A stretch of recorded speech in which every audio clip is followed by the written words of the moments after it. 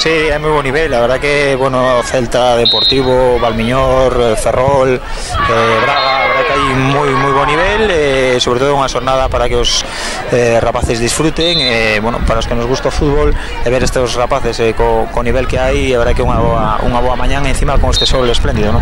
Cambiou moito, ¿no? daqueles anos atrás, no? Este campo de terro vin aquí a retransmitir un porriño.